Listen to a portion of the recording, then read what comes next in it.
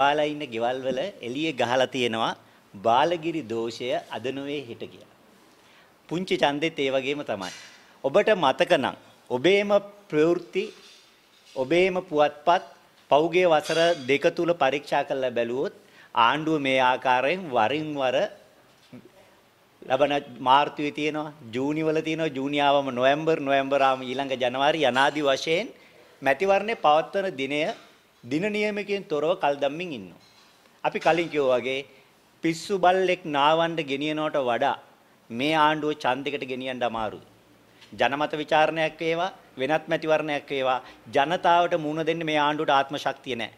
ආණ්ඩුව දන්නවා තමන් කිව්ව බොරු ඔක්කොම දැන් පත්තු වෙලයි තියෙන්නේ කියලා. ඒ නිසා අපි හිතන්නේ නැහැ නුදුරු අනාගතේ නම් මැතිවරණෙයි කියලා ආණ්ඩුවේම සමහර ඇමතිවරු දැන්ට කියනවා ජූනි මාසෙ කියලා. සමහර විට ලබන අප්‍රේල් මැයි වෙද්දී ජූනි එක තව පස්සට තල්ලු වෙන්න පුළුවන්. අපි දැක්ක සමහර මාධ්‍ය වාර්තා කරලා තියෙනවා වාර්තාව හෙට බාර දෙන්න නියමිතයි ඇමතුමා රට පැනලා වාර්තාව මග අරින්න කියලා. හැබැයි අපි දන්නවා ඇමතිවරයා රටේ සිටීම අත්‍යවශ්‍ය නැහැ. ඇමතිවරයා රට යනකොට වැඩ බලන ඇමතිවරයෙක් දිවුරුම් දෙනවා. ඒ වැඩ බලන ඇමතිවරයාට මේ වාර්තාව බාර දෙන්න පුළුවන්. එහෙම නැත්නම් අමාත්‍යාංශ ප්‍රධාන ගණන් තැබීමේ නිලධාරියා වන ලේකම්වරයාට බාර දෙන්න පුළුවන්.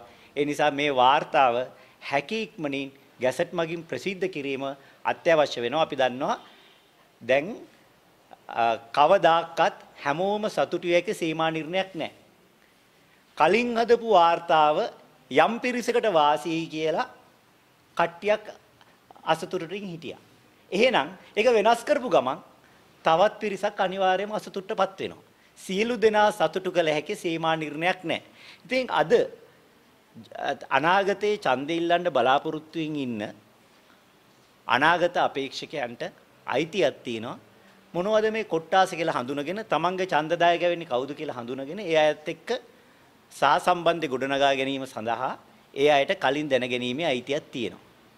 ඉතින් ඇමතිතුමා හිටියත් නැතත් වාර්තාව වැඩ බලන ඇමතිට බාර දෙන්න ඕනි. වැඩ බලන ඇමති ඇමතිතුමා එනතුරු බලන් ඉන්නේ නැතුව වහාම මේක ගැසට් මගින් ප්‍රසිද්ධ කරන්න ඕනි. එහෙම නොකළොත් අනිවාර්යයෙන්ම අපිට රිට් නියෝගයක් පවා ලබා ගන්න පුළුවන්.